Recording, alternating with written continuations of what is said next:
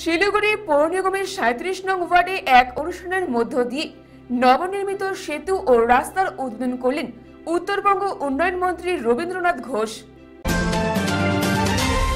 রাজ্যের মুখ্যমন্ত্রী মমতা বন্দ্যোপাধ্যায় রাজ্যের প্রতিটি জায়গায় উন্নয়নে গ্রহণ করেছেন একের পর এক উন্নয়নমূলক প্রকল্প। উত্তরবঙ্গ উন্নয়ন দপ্তরে তবে শহরের বিভিন্ন এলাকাগুলিতে নেওয়া হয়েছে।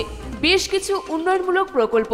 তাই দীর্ঘদিনের দাবি মেনে অবশেষে শিলিগুড়ি পৌর নিগমের সাঁত্রিশ নং ওয়ার্ডে নবনির্মিত রাস্তা ও সেতু তৈরি করল উত্তরবঙ্গ উন্নয়ন দপ্তর। এদিন বিকেলে আনুষ্ঠানিকভাবে এই নবনির্মিত সেতু ও রাস্তার উদ্বোধন করলেন উত্তরবঙ্গ উন্নয়ন মন্ত্রী রবীন্দ্রনাথ ঘোষ। এছাড়াও এদিনকার এই অনুষ্ঠানে উপস্থিত ছিলেন পর্যটন মন্ত্রী গৌতম দেব। উত্তরবঙ্গ উন্নয়ন দপ্তরের এই ধরনের উদ্যোগে খুশি এলাকাবাসী। আজকে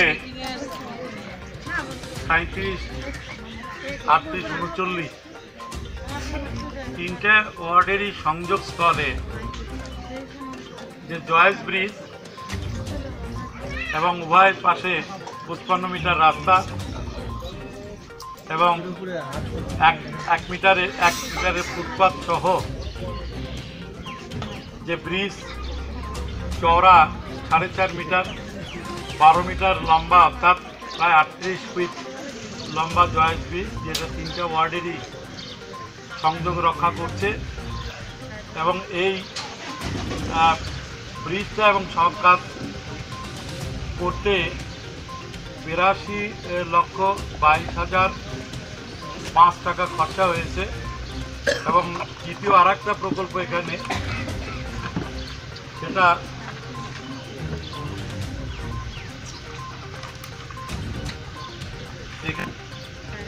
একটা ড্রেন তৈরি হয়েছে সাড়ে চারশো মিটার উভয় পাশে অর্থাৎ নশো মিটার মোট।